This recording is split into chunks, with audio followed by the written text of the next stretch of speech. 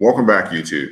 So today we're going to be talking about the upcoming crypto purge and really just a purge of the markets and some of the things that you're going to make sure you need to be doing in order to make sure you're in a position to survive this. And this is nothing more uh, than this simply being a market reset. And typically, at a market reset, you'll have a really bullish period where things just pretty much um, literally go vertical. And um, at some point, um, obviously, um, it's not completely driven by the retail sector. So you have a lot of institutions and government uh, money that's being injected. And of course, at some point, they're going to want that money back or they're going to stop investing. So you'll have literally this will uh, turn things into like a bear market or it can even cause a recession if it's been really significant. And if you follow my channel, you'll know that I've been saying this for months that this is institutional money. This is not retail money. They're propping up the economy. Um, you know that um, and for those of you that pay attention to like what's going on, uh, maybe just politically, but um, if you'll see that over the last year, we had things like record unemployment, but also the housing market was somehow rising and setting all time highs as well, even though no one was working. It was just literally madness that we had going on after the initial start of the pandemic. And part of that was due to the money that was raining in. So now the federal government is saying that they're going to uh, pretty much tighten up and stop their injections, uh, literally monthly injections into the market. And um, if you follow anything in crypto or even my channel, you'll know that um, I said I believe that the institutional money and the government is heavily involved in the crypto sector. And we've seen this, and I, I got evidence of this when we started seeing these massive amounts of numbers vanish in like two days. Um, in December, we saw roughly um, like a little over half a trillion dollars disappear. And earlier last year, um, off the um, height of the actual bull run, we saw um, over 600 billion from Bitcoin alone just vanish um, and a little over a trillion dollars in value out of the market overall. So it was just these massive amounts of money that I know that with the speed and uh, the amount of money that gets injected in, in the time frame, I just know there's no way this is retail. So I knew that the government was literally investing, taking profits, and moving money around through the different markets. This is known uh, basically as QE or quantitative easing, and the Federal Reserve is pretty much saying that they uh, believe that they're going to um, start cutting back in around March or April. This drives fear because if you're not an investor, you're not sure which positions that the government is really um, invested, heavily invested in into the markets, and so typically you'll say that, okay, if I'm in the green now and the government's going to start pulling money out, this can send the markets into a bear cycle. And if you're already up, especially a lot, typically you're going to want to take some profit to kind of weather the storm and kind of sit back and try and catch this at around the bottom or even just 30, 40% below um, where you are.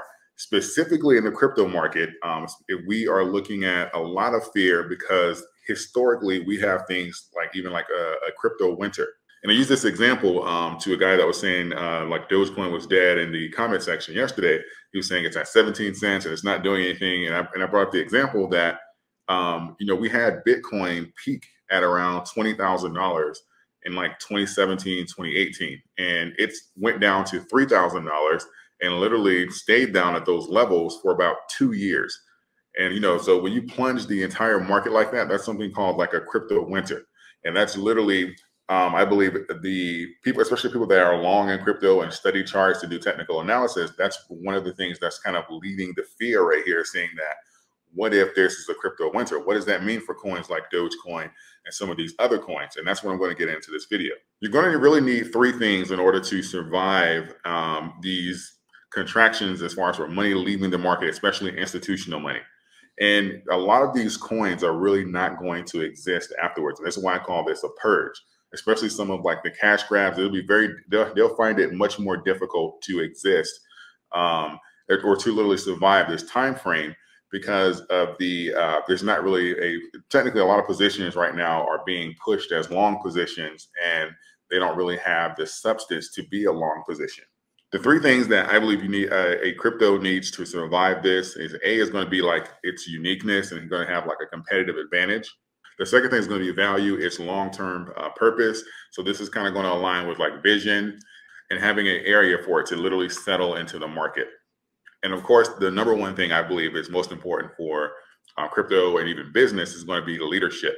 And if we're going to take this and apply this to like a coin like Dogecoin, because I know we talked about that a lot here, We're going to look at leadership. We're going to look at the uh, leadership and vision of uh, leaders like Elon Musk. Um, some of the other partners as well. I know we're doing like the Ethereum bridge, so we have a couple people um, there who are going to be giving like their insights to like the actual community uniqueness as far as for a long-term purpose is going to be aligned with it actually becoming a currency and giving the uh, means of utility and having people use it.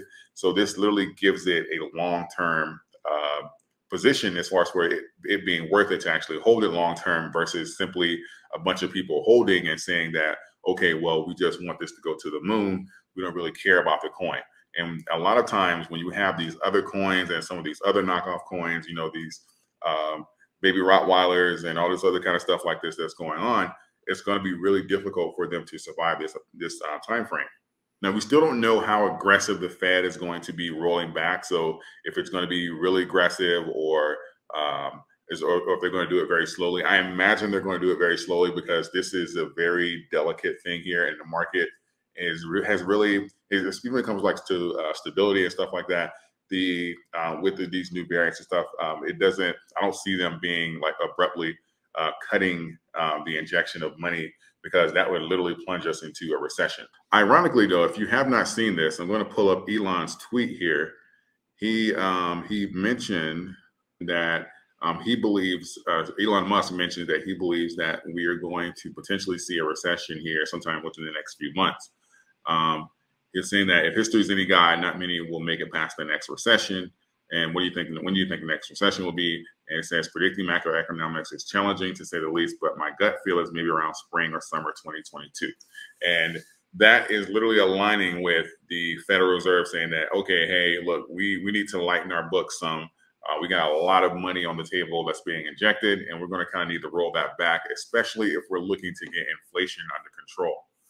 And this is really going to come down to community and the people that are invested into the crypto market because again the market is going to thin out the reason that we um, part of the reason that we got some of that explosive growth um, last year especially in coins like dogecoin and stuff like that is because that was at the peak of the uh, the market so far and it hasn't the market didn't have it didn't expand until after that because after this um, i believe that the market expanded greatly and you have all these new cryptocurrencies that are popping up every day and everyone everything's going to be the next dogecoin and and the money was spread a lot more thin. So typically, you will have these periods where things get reset, and um, the you you know you have like the technically like I want to say like the strong survive, but the coins with that fall into those three categories that are named, they have a really great chance of surviving.